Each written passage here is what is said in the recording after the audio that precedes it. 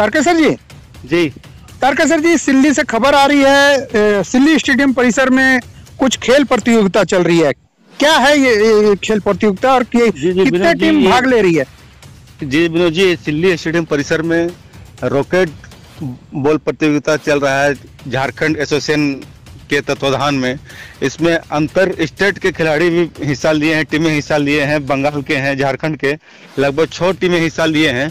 और शाम को इसका समापन होगा। खेल का उद्घाटन मूरी ओपी परवारी बबलू कुमार एवं प्रमुख सिल्ली प्रमुख जितेंद्र बड़ाक पूर्व जिला परिषद सदस्य गौतम कृष्ण साहू ने भी उद्घाटन खेल का किया है।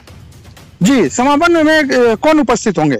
समापन में स्थानीय विधायक दिल्ली सुरेश कुमार महतो उपस्थित होंगे।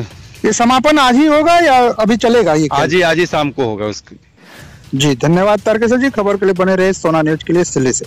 है, जहाँ से आपको एनर्जी मिले और आपको हौसला अफजाई के लिए और एक अच्छा प्लेटफॉर्म मैं कहना चाहूँगा कि हमारे जो संरक्षक, जो खेल के प्रति रहते हैं, माननीय सुदेश कुमार महतो जी का, जो है बहुत ही बढ़िया प्लेटफॉर्म हम सबों के बीच में रखते हैं।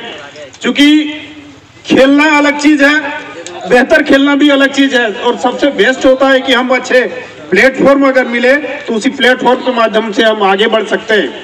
मैं आप तमाम साथी को यही कहना चाहूँगी। कहना चाहूँगा, होते हैं जिसके हौसले, होते हैं जिसके हौसले मिल जाते हैं उसके रास्ते। ये दुनिया नहीं है दोस्तों, इन, उन बूझ दिलों के वास्ते, उन बूझ दिलों के वास्ते। शब्दों के साथ मैं आप सबों को शुरुआत पुराना, लेकिन इसमें कोई दो मत नहीं है कि इसकी प्रचार प्रसार ज़्यादा नहीं हो पाई इंडिया लेवल पर अभी आप लोग के पास बहुत स्कोप है। ये ज़रूरी नहीं है कि हमें रात दिन पढ़ाई करनी है। उसी में हम सक्सेस हासिल कर सकते हैं।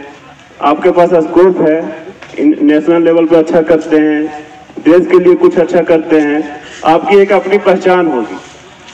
आप, मैं आप लोग को प्लेयर के रूप में नहीं देख रहा हूँ, मैं देख रहा हूँ आने वाले भविष्य में आप लोग कोचेस हैं।